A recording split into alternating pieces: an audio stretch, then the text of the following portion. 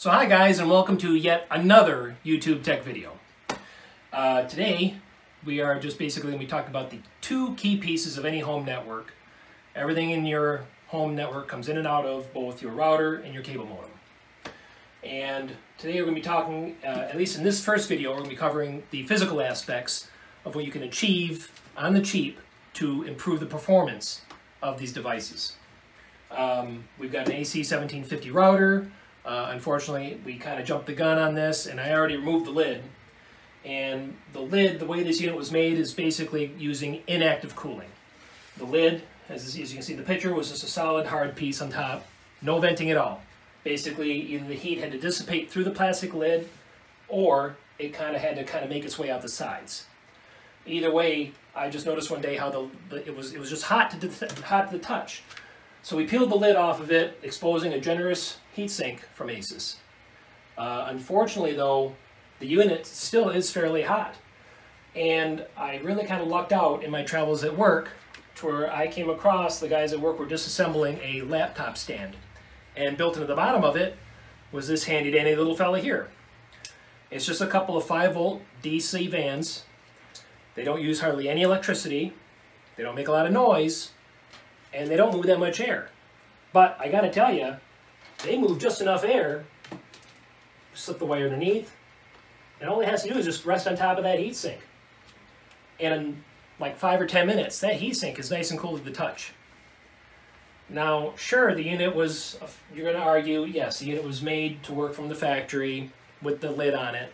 What I'm doing is I'm simply improving what I've got and what I paid for by, acti by adding a little, quote, active cooling. And you're not going to really see any kind of speed increase. However, your ping times in gaming and such are going to decrease a little bit. I'm a huge World of Warships fan. My ping times have decreased a little bit and especially on my network with my family. I've got somebody streaming a movie on Hulu or Netflix. I got somebody else playing Fortnite. Who doesn't play Fortnite? And you're going to notice a hiccup in the game. You're going to notice a buffer in your video. Well, by cooling down your electronics like this, it's going to actually help less corruption because heat, of course, is an electronics' worst enemy. Moving on from the router, of course, um, when we first or when we first subscribed to Charter Spectrum, uh, they of course always throw in you know the customary the, the free the free modem, which is of course rolled into your you know monthly subscription. It was a low-end Cisco modem. It had an Intel Puma chipset in it, only ran at 300 megahertz, and it was only four channels wide. So, unfortunately, my router running with my Broadcom chipset at 600 megahertz, that's it was it was my bottleneck was now my cable modem. So I decided to do a little research and scored a nice TP-Link um, cable modem. Also has a Broadcom chipset in it that runs at 600 megahertz. Only this unit here is now 12 channels wide. However, again, 600 megahertz processor, they're going to generate a little heat. And that's exactly what this unit's doing right now. It's hot to the touch. And I've got it laying on its side. It's actually meant to stand upright, according to the picture, according to the factory and then you're just you're just forcing all that heat now through even smaller vents out the top of the unit.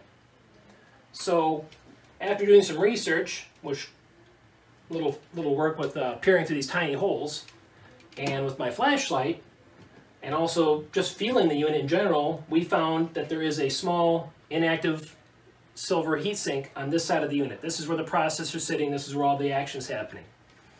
So I decided to go uh, MacGyver on it and I ended up making my own little active cooling fan right here, which basically I took was just an old USB cable and a little power brick, only I cut this end of it off.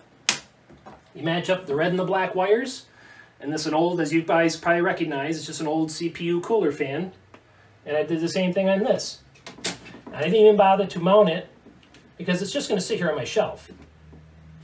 And I got to tell you, again, in another 10 minutes, that unit, it, it runs nice and cool. And on top of, sure, on top of a 600 megahertz processor, on top of the fact that it's 12 channels wide, and in our next video too, we'll also show you, you can log into your cable modem, and I, and I can see that through Spectrum, I'm actually connecting in all 12 channels, which also helps a lot when it comes to all the, all the general network traffic that comes in and out of my place. So, with the really just cheap, subtle refinements that we've made, um, our Netflix movies load faster, there's no more buffering, uh, our ping times have actually decreased in all of our gaming, and um, overall, even when friends come over with their network devices, there's just no more hesitation in the network. Um, so anyways, um, that's just a couple of physical refinements that we found um, in this part, in this video. Next video, hopefully there'll be, hopefully there'll be several more. Um, the next one I'm going to delve into all of the different refinements that you can get from, um, from buying your own router. Uh, these routers, of course, sure, they're, they're basically plug and play. They, the manufacturer tries to make it as simple as possible. Um, and they work. They don't work real good, but they work enough for your average, you know, John Q home user. However, there's always going to be us power dorks out there that are going to get in there, try to tweak it, refine it, because when you get online and you're online gaming especially, you want to be on equal terms with the guys you're playing with or playing against. So you want to have good ping times, you want to have a high speed, no matter what kind of server you're connecting to. And in the next video, I'm going to show you at the software end just how to achieve those better performance values. Uh, I hope you guys really enjoyed the video. Um, I hope you learned a little something. And uh, I'm really looking forward to seeing you guys in the next video. Thanks.